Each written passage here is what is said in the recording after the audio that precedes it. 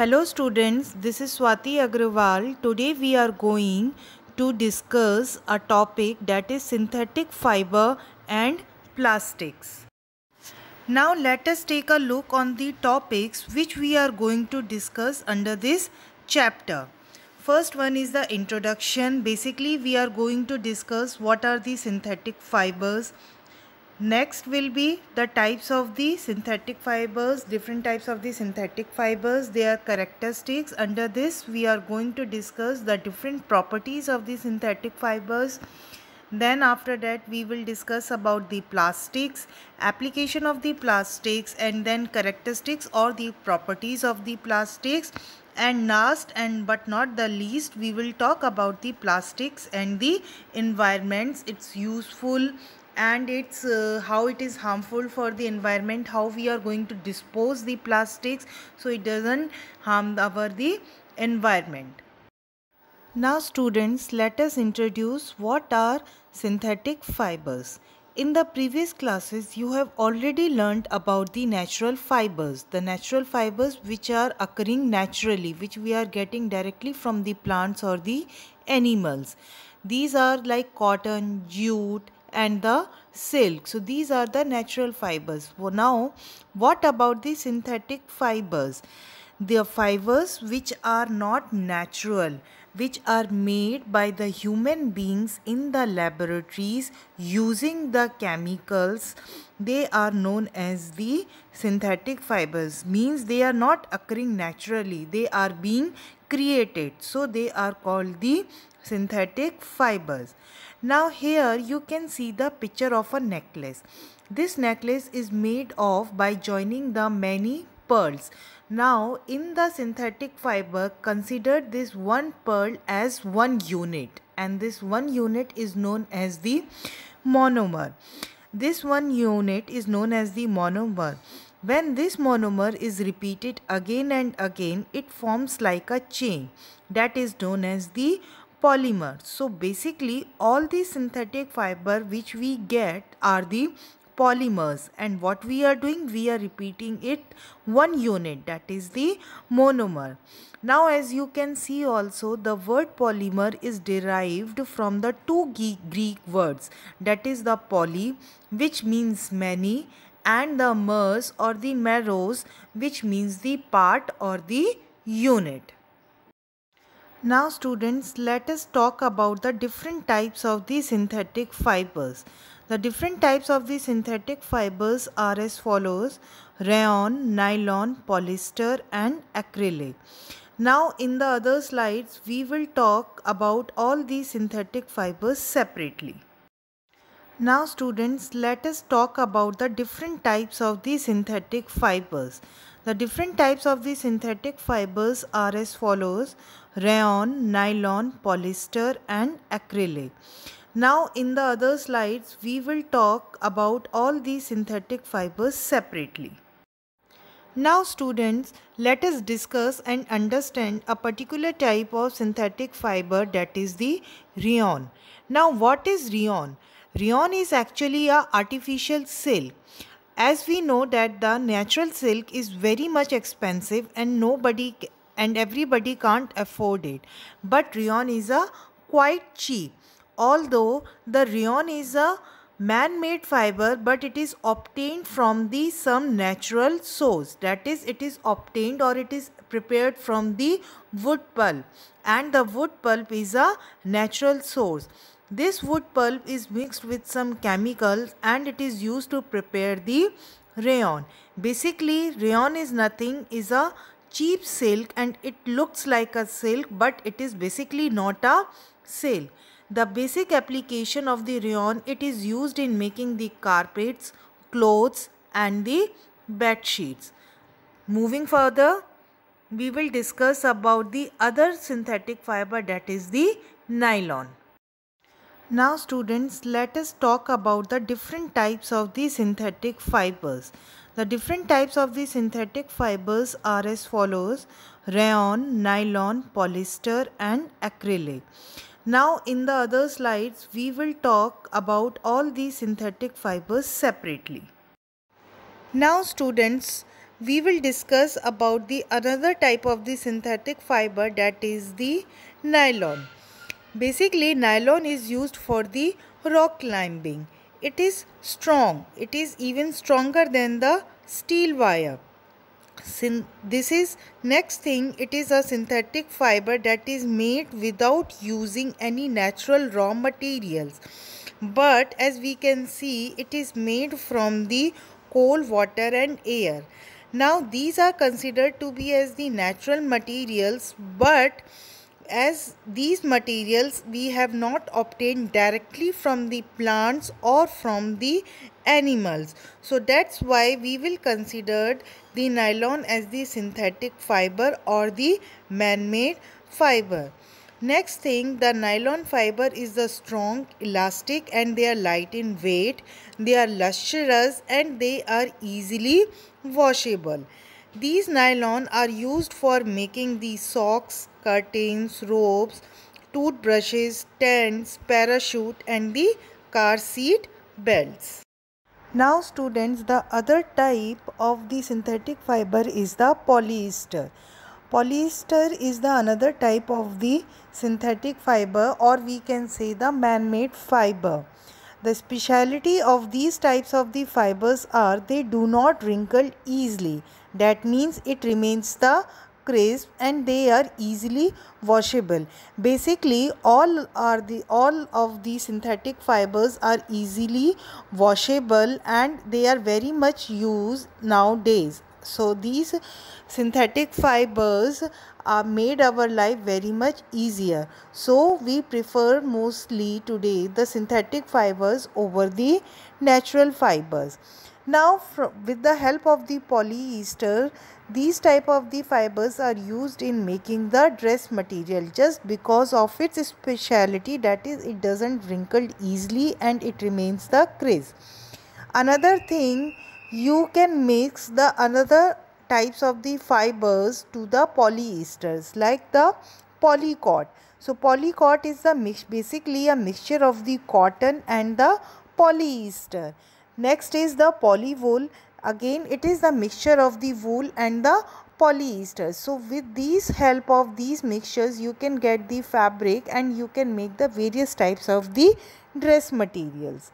Now the next is the terylene. It is another type. It is a another popular polyester which can be drawn into very fine fibers and it can be woven into yarn so terylene is also very useful and it is uh, it is these are the very fine fibers and it can be easily woven into the yarns and from that yarn the fabrics can be made.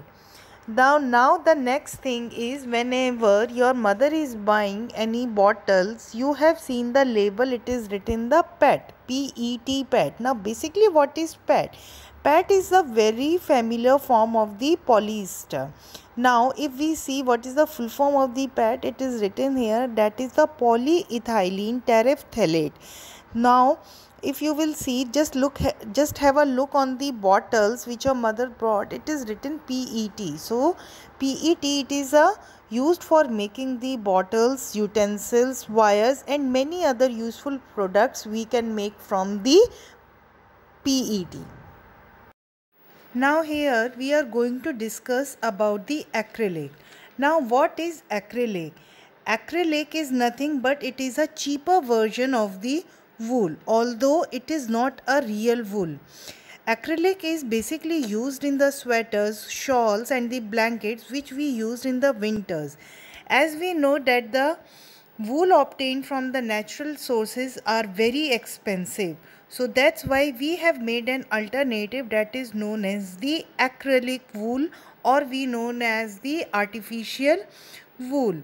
But it is not a wool, it is just like the rayon, rayon which is considered as the artificial silk. Same way acrylic is also known as the artificial wool.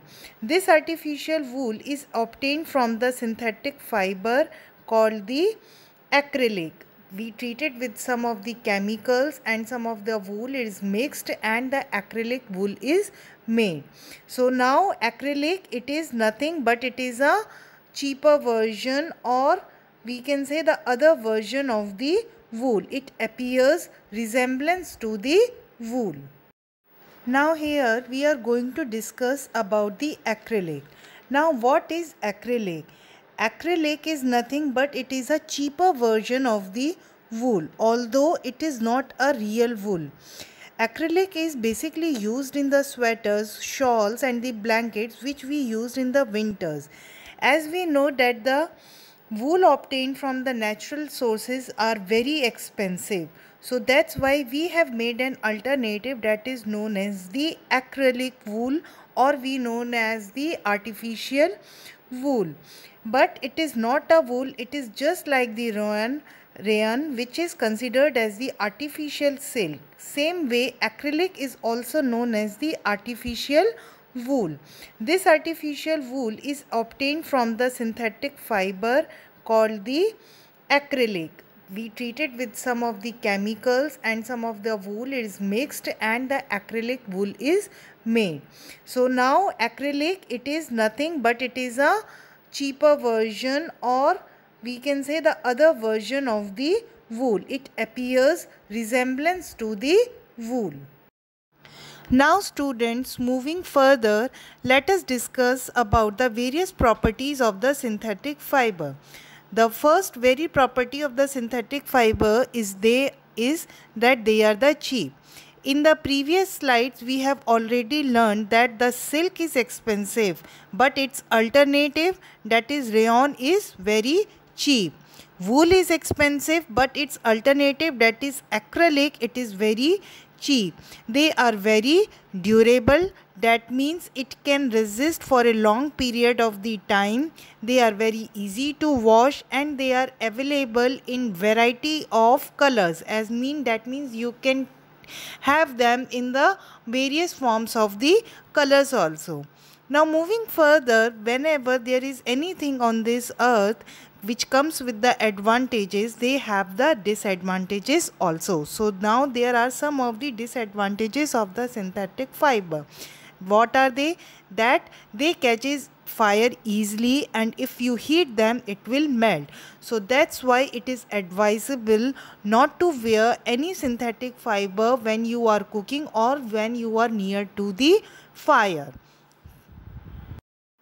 now students so far we have discussed about the synthetic fiber its properties and its various types of the synthetic fiber. Now moving on we will discuss about the plastics. Now the plastic is a things which we which you see in everyday life around you whether it is the basic form of the uh, toys or your chair made of the plastics the buckets the uh, the jug and anything the bottles of course so these all are the made up of the plastics now basically what are the plastics plastics are also considered as a monomer just like the synthetic fiber where there is one monomer which is being continuously repeated. Now as you can see the plastic around and we are using it constantly in our daily life. Why so? Because they are easily moldable. You can give them any shape or size and they are quite handy. So it is just because of these properties of the plastics which made it very useful and it is made very easily available to us.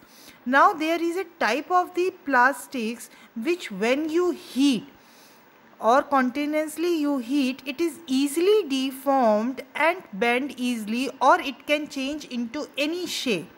So now basically this type of the plastics is known as the thermoplastics we can say they are very flexible they can be easily molded they can be easily deformed into any shape or the size as you can see in the table here is uh, some examples of the thermoplastics uh, like uh, polythene bags. It is polythene bags are there plastic bottles are there and any other useful things are there. Now the other type of the plastic is the thermostatic plastic. Now what basically a thermosetting plastic is?